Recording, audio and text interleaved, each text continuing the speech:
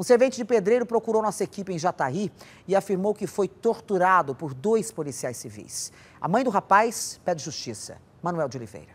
Jefferson Lopes, de 27 anos, é servente de pedreiro. Ele conta que estava chegando no trabalho quando foi abordado por dois policiais civis. Em seguida, os policiais teriam o levado para uma mata da cidade de Jataí, no sudoeste goiano. E lá, segundo Jefferson, começaram as agressões. Eles me pegou eu indo para o serviço e falando que tinha um roubo, que tinha uma filmagem do meu carro e que eles queriam que eu desse conta de duas televisões e uma joia. E eu falava para ele, já que você tem a filmagem do meu carro, então me mostra a filmagem do meu carro. Se tem a digital, então me mostra essa digital, já me leva preso já logo então. Eu não roubei merda nenhuma não. E eles queriam que eu falasse uma coisa que eu não devesse. Me levou pro Rio Claro, me bateu, bateu, bateu, bateu, bateu, bateu. E tô desse jeito, cara, tô destruído. Já que eles falam que tem filmagem, então me mostra a filmagem, ué. Me mostra a filmagem. Depois que eles te pegaram, eles fizeram o quê?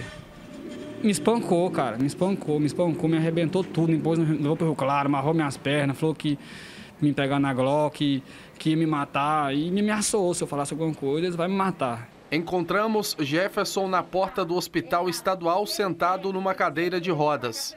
Ele mostrou as marcas que teriam sido provocadas pelos policiais civis. A mãe de Jefferson afirma que o filho não estava fazendo nada de errado.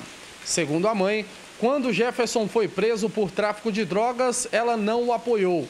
Mas que agora a história será totalmente diferente. Não estaria aqui se eu soubesse que ele tinha feito coisa errada, não. Não estaria. Não estaria chamando a, a, a televisão, que eu fui em vários, vários chamar, ninguém teve coragem de vir. Não teve. Se ele tivesse devendo, não estava aqui pondo minha cara na televisão, não. Eu não quero nada, nada, além do certo. Mostra essa filmagem que está o carro do meu filho, que o meu filho pegou alguma coisa. Eu vou sair fora de Jataí, porque eles vão me matar. Isso aí já faz com muitos amigos meus e eu não vou ficar aqui para mim ver a coisa acontecer, não. Yolanda chora ao ver o filho todo machucado e pede justiça. Não é justo o que fizer com meu filho. Meu filho está arrebentado aqui. Quem vai trabalhar para pagar a pensão do filho dele? E quem? Eles vão dar pensão agora? Vão dar dinheiro? Vão indenizar ele pelos que fizeram com ele ali? Que policial é esse? Que lei é essa? É, mãe é mãe em qualquer lugar que a gente observe, né? Mãe defende o filho de todo jeito.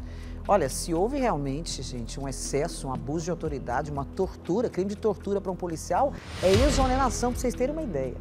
E, acho que é uma das piores coisas dentro de uma corporação que é inadmissível. Não é perdoado o crime de tortura. Se for caracterizado isso, punição para os policiais. Agora, se os policiais têm a versão deles e têm essas imagens, que lancem as imagens.